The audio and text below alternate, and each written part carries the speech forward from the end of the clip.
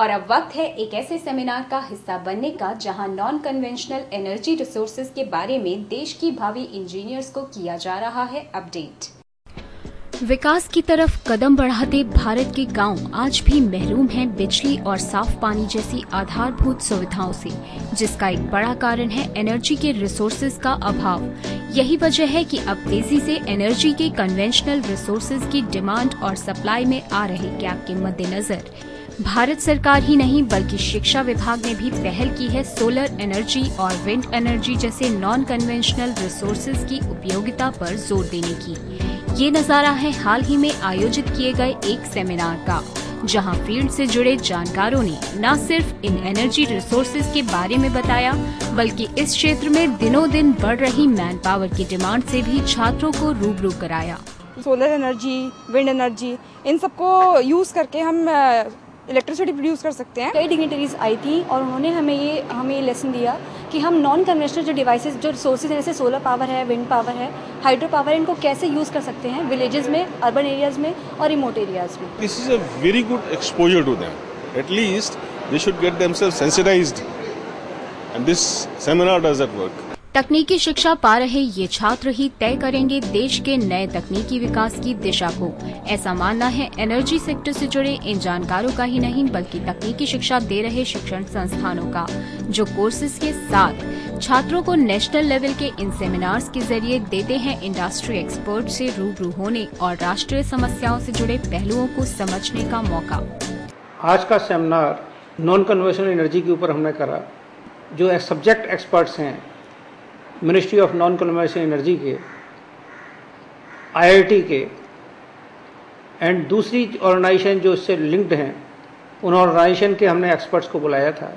तो उन्होंने अपने शेयर एक्सपीरियंस उस पर शेयर करके बताए कि कंट्री के अंदर कन्वेंशनल एनर्जी का लिमिटेड साधन है।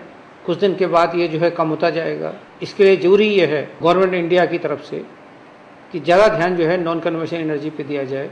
दिस एजुकेशन को कि how the common person in villages can be benefited by taking these devices at the village level. जानकारों की माने तो आने वाले समय में नॉन कन्वेंशनल एनर्जी सेक्टर से जुड़े सभी क्षेत्रों में ट्रेंड इंजीनियर्स की मांग में खासा इजाफा होने की संभावना है जो लड़कियों के लिए भी इन क्षेत्रों में एक अच्छा करियर बनाने के साथ देश की तरक्की का हिस्सा बनने का अवसर साबित हो सकता है क्योंकि आज इन क्षेत्रों में हो रहे इनोवेशन ही बदल सकते हैं देश के रूरल इलाकों की तस्वीर हम लोगों को इस बात को समझाएँ भारत एक पावर स्टिकन कंट्री है, जहाँ पे 20 परसेंट पावर शॉर्टेज है। सौर ऊर्जा उसको बड़ी बखूबी और बड़ी अच्छी तरह इसको पूरा पूरा कर सकती है। उसके साथ साथ बहुत सी जॉब क्रिएट हो सकती हैं। और रूरल एरिया के लिए तो ये एक बहुत देन है। ग्रामीण क्षेत्र में क्या है कि हमारी जो महिलाएँ हैं, उनके पास इलेक्ट्रिसिटी नहीं है बिल्कुल तो उनको बहुत दिक्कत होती है।